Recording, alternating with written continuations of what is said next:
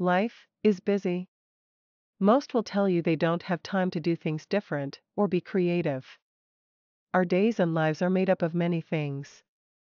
Like our families, our purpose, the reason we get up each day, our good friends, our activities and hobbies we love to do.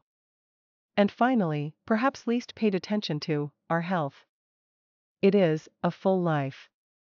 However, if you are strategic in your actions, you'll find new ways to start thinking different.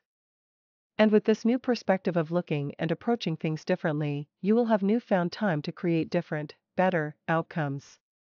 That's the Thinkers Society, helping you get to your better ideas faster.